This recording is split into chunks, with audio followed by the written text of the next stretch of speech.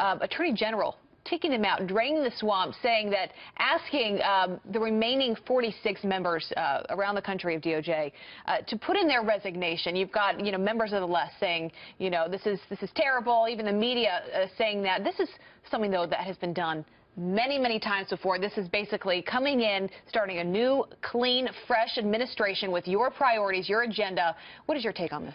Well, I was kind of stunned by it, uh, but I have to say I had some inside information. If my voice is uh, kind of muddled today, it's because I was out last night with Sean Hannity and Bo Dietl, and you know how dangerous that can be. Oh, man. Uh, That's a combo. But I, I, believe that Sean Hannity has become the second most powerful, uh, influential person in the country when it comes to our political life. He, he talks to the president every day. Uh, Sean on Thursday night went on an absolute rant about the uh, the U.S. attorneys and how they and others in the deep state in the uh, you know in the permanent government have been undermining uh, President Trump and leaking uh, uh, information and perhaps not working 100% behind the president's agenda. Uh, Sean was very, very firm on that, and I believe the president heeded his call. I do not believe that this is something they've been pondering for a long time.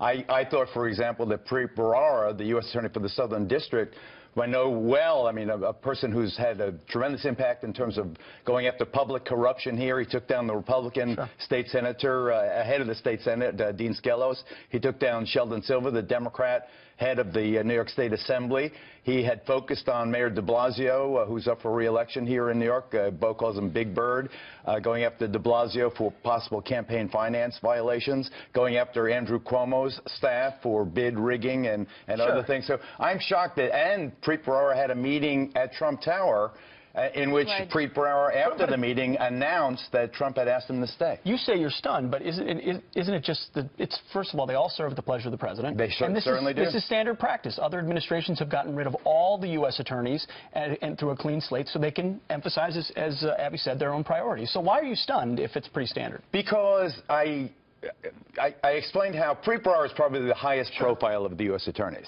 And when he announced that he had met with Trump and that there was an understanding he had met with uh, Attorney General Sessions and that there was an understanding that he would stay on to continue these public corruption cases, that's why uh, my guard was down. But you're absolutely right, Pete. This is not that extraordinary. Clinton did it in 93. Uh, George W. Bush was investigated for doing it midterm under somewhat murkier circumstances. Yeah, but, uh, you know, you have a situation where if you strip it down.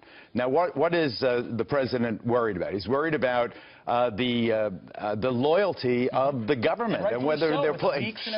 Dude, I'm totally with you. Yeah. Uh, Preet Bharara, having extolled his virtue as a prosecutor, I also have to point out, is a Democrat who was the counsel for Senator Chuck Schumer, the head of the Democrats in the United States Senate. Chuck Schumer became the enemy of Donald Trump. So here's Preet Bharara, who was Chuck Schumer's right-hand man. He's now the U.S. Yeah. Attorney in the Southern District. So you could certainly see why the president, upon pondering whether to keep Bharara, would say, wait a second. Sure. This yeah. dude is, uh, is with the bad guys. Why am I keeping him in my house?